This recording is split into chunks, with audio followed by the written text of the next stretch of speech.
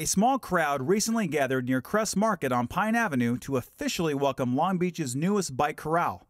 This metal rack shape, symbolically like a car, fits perfectly into a standard parking space, providing parking for 14 bikes instead of one car. What's important about this is that as Long Beach transitions into uh, an exciting kind of era of being the most bicycle friendly city in America, you're going to start seeing a lot more bike corrals, a lot more bike racks, and a lot more bike activity uh, in downtown Long Beach. This is a new tool that we use to get more people into a uh, uh, commercial space. It's a great asset for us business owners here because there's a lot of bikers here in Long Beach, as we all know, and I know the city is pushing biking in Long Beach.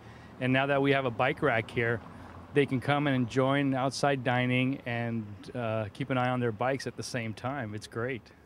A lot of it has to do with just creating a livable community. It's a place where people can walk and bike and interact with their neighbors. And also, it's um, a lot of the funding that we've gotten is from the LA County Health Department because they're encouraging people to bike and to walk and to lead a more active and healthy lifestyle.